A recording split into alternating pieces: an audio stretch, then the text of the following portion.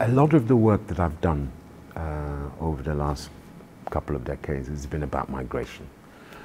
And with auto Autodafé, I wanted to be more forensic, to, to take a feature of migration, which is really about refugeeship, and, and um, look at that, look at the conditions that underpin it. Um, and so the work is really about a number of instances, events, if you will, uh, across a sort of an expanse of four centuries in which uh, groups of people have felt that their lives were somehow being shaped by forces of destruction, you know, religious persecution, economic hardship. Essentially, the reasons why people feel, okay, I, I've got to go. I can't stay here because if I stay here, I'm going to die. The key encounter between um, a refugee from Afghanistan or Syria, you know, Iraq, Yazidi, Christian, Muslim who's trying to get to Europe and somebody from the past is that they have to do it by the sea. But then when they do it by the sea in the noughties, they have to navigate death.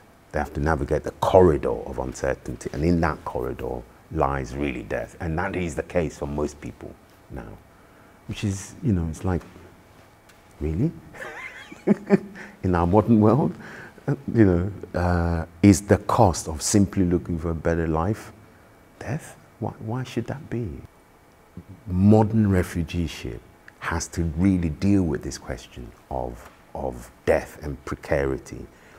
You know, if you were from the Caribbean in the 40s, you know, you, you crossed the sea, but you didn't do it necessarily with death hovering over you, you know. Um, so this is a very modern feature of, of, of migranthood, which is why I wanted to look at it specifically through this lens of refugeeship. Because it seems to me that refugeeship throws up very unique questions. And once you see those questions in the present, it's possible to then begin to think about how the questions in the present are connected to other stories from the past, which is why the project has this four century expanse.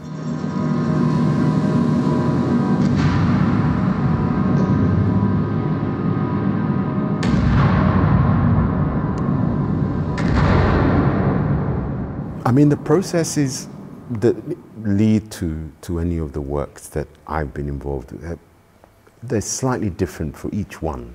They are the result uh, of long gestating reflections, you know.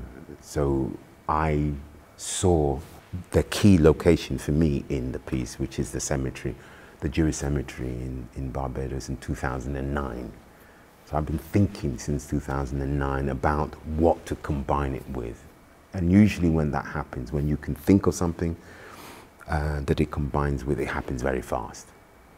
Recently, a lot of the work that I've been doing have been on multi-screens.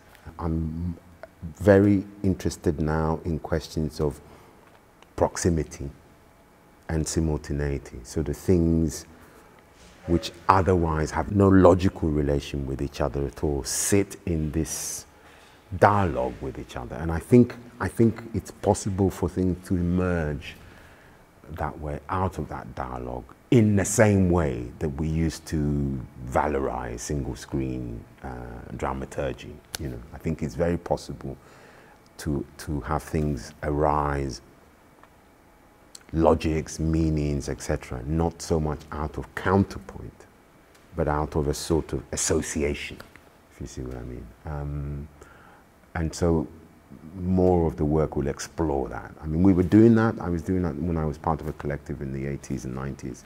Went off it a bit to go into television and, you know, and all of that means, and the cinema and all of that means. And um, I'm much more interested in coming back to this question of reflection that one can get from, from having associations of images rather than counterpoints.